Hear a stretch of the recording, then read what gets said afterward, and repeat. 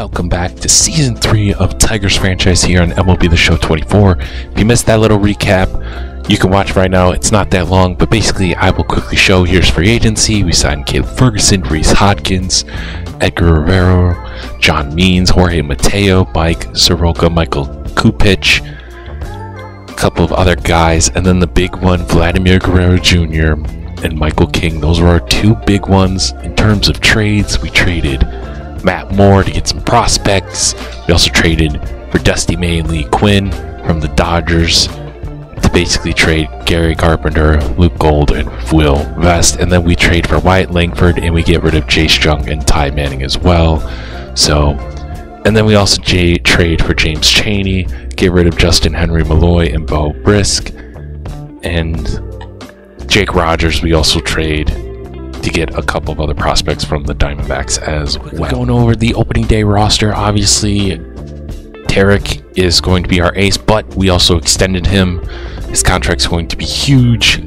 23 million. We'll see how he does. Uh, obviously, Michael King, Walker Buehler, Matt Manning. And we kind of added guys like John Means and whatnot to add depth.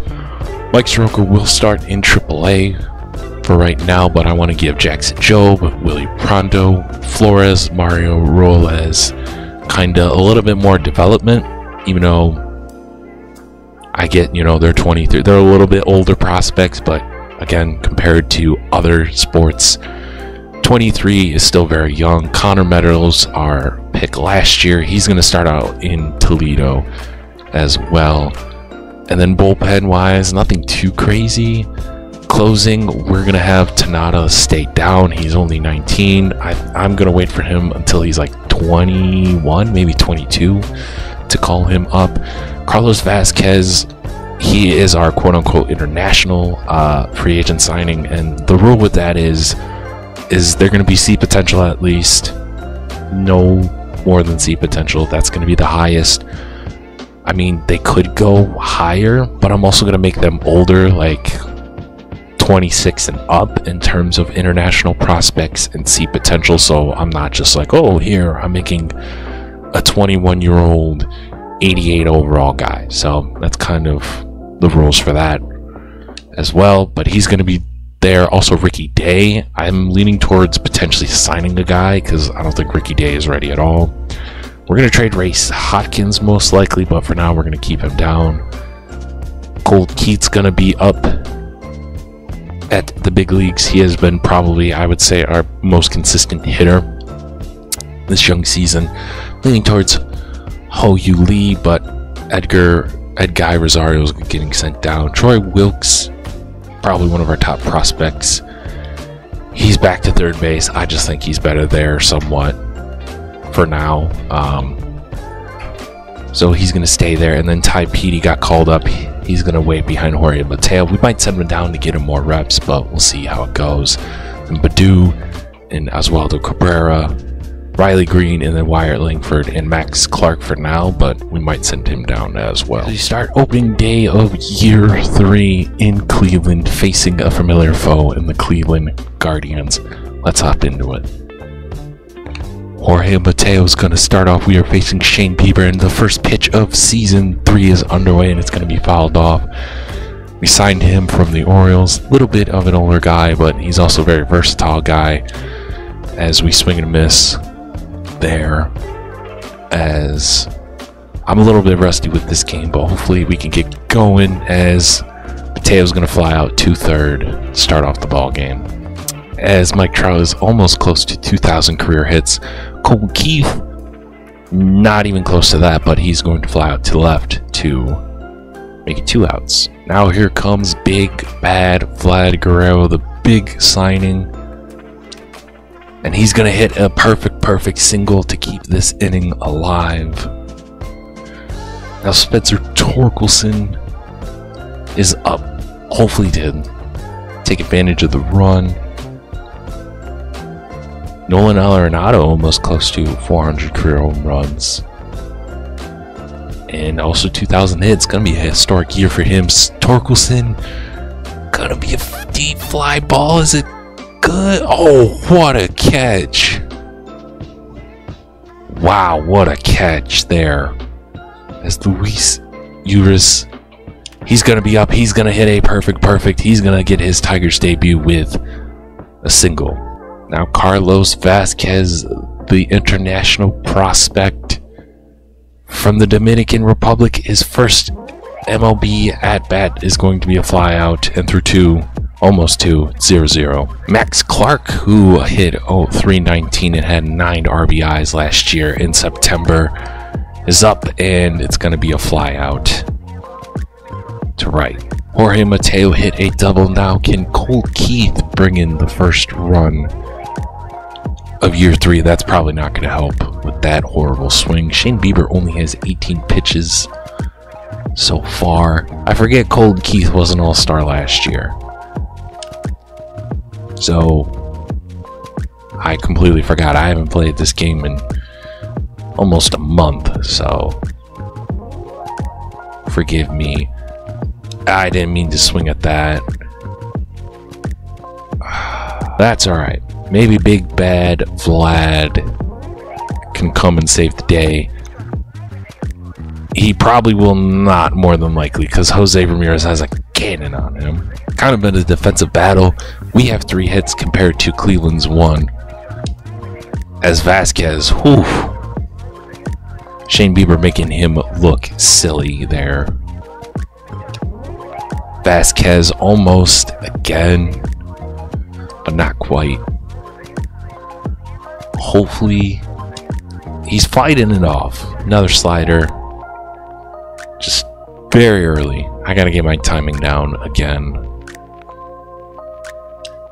He is gonna get a pretty good hit on it, but not good enough as it's gonna be fly flown out to center. Max Clark, who is in right field today, we switched him over from center field with Riley Greene still being there. Figured he has a better opportunity in right. But it's not going to matter because through four and a third, it's still 0 0. And Bo Naylor hits a two run shot. And just like that, Cleveland's up. And Bieber, we're not giving Bieber a hard time at all. 45 pitches through six innings. Make that 46 as it's another flyout. Again, it's more than likely the rust, but yeah, I mean, it, we're kind of showing. I I have kind of high hopes. We spent a lot of money in free agency to make this team a playoff team, but Colton Keith is finally going to get us on the board there. What an absolute bomb! that'll definitely help boost the team's confidence there. Can Vladimir Guerrero? He cannot, we still got one left in the inning. Colton Keith showing his power for a second baseman. You love to see it. Don't mean to keep on hitting that. Hey, we get one run back. And our bullpen has crapped the bed. Now it's 5 1 and uh, it's kind of been the story of this series as Carlos Vasquez gets his first major league hit, and it's going to be a single here in the top of the seventh inning. Can the young outfielder Max Clark come up huge? He's gonna knock in a base run, cuts the lead down to three. You love to see it. Maybe we can get a rally going as Shane Bieber still in the game with only 64 pitches. Jorge Mateo, deep fly ball going at the track. Not quite. As our bullpen is still terrible. Dusty Mays in, he's given up a couple runs. I, so, yeah, it's just. Colton Keith gonna fly out there. As we are now here top still Shane Bieber is in. As Vlad's going to take a ground ball. 31,000 in attendance to see the Guardians here on opening day. Vlad's going to get another single second hit, hit of the game. We have more hits. Well, we have six, excuse me, two. 10 hits for the Guardians. as uh, Spencer Torkelson is there. Just fouled it off. As Spencer Torkelson still hasn't gotten a hit yet. Absolutely rocks that just really early. But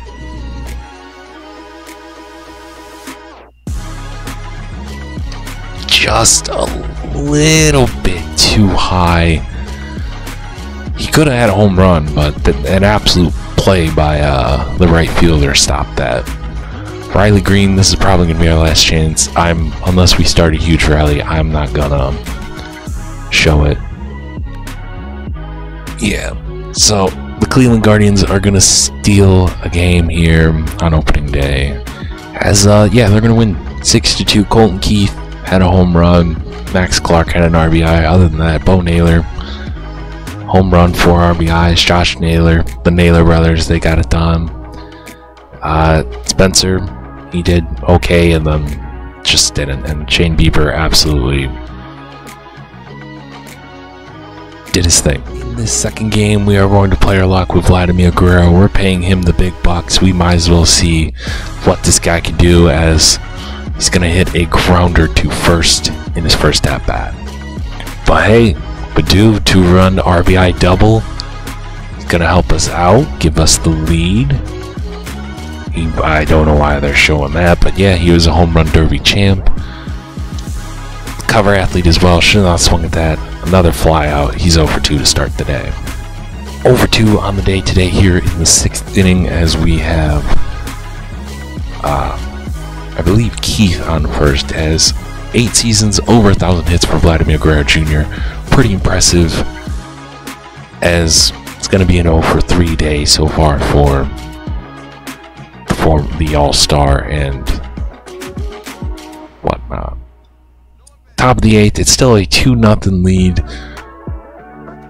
We got Keith, new guy on the mound as I did not mean to swing at that but career wise, he has not done great. 2 for 11 and 1K in his career. He's going to take a beautiful slider there. 22,000 this time. As. Oh, I should have waited for that.